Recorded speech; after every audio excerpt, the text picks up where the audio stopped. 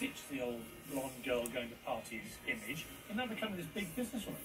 17 product lines. Hey guys, I am checking out Paris Hilton's new documentary That's hot.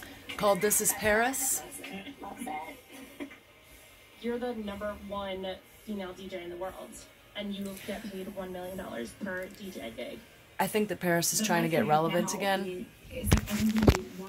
She uh, she lost her her relevancy, and now she's trying to get it back.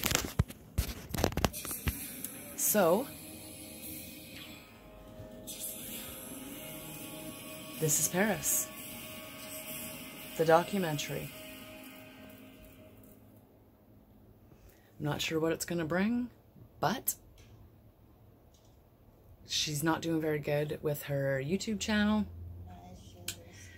her DJing, or her clothing line, her cooking show.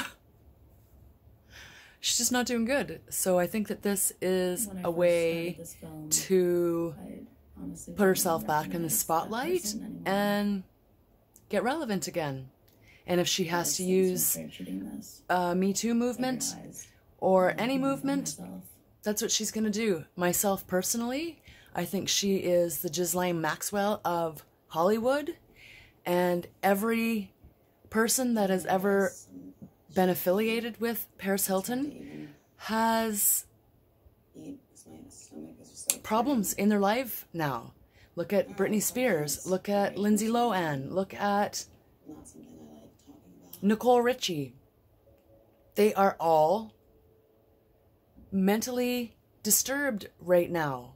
And Paris is like the whole world thinks they know me still Paris. because I've been playing this character for so So long. I'm going to watch the documentary and see what's up. Bye.